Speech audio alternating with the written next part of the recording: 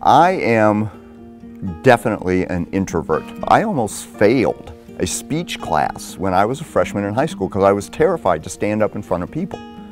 Now look at me. My name is Paul Barlett. I am a professor of anatomy. I have been with the college for 32 years.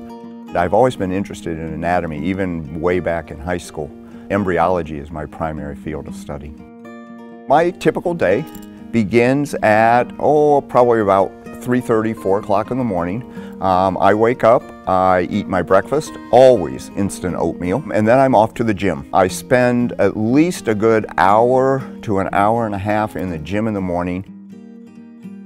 And then I come to the college. I am usually here by 6 a.m. and it is during that time that I get a lot of my work done as far as test preparation, course preparation, then I go through my day of teaching. What gets me motivated are the, are the students. You know, when you walk into a classroom that first day and you give them the fire and brimstone speech, as I call it, they all sit there like deers in headlights. But slowly they start to loosen up and you start seeing them actually understanding and learning. It keeps me young. It keeps me motivated just because they are motivated.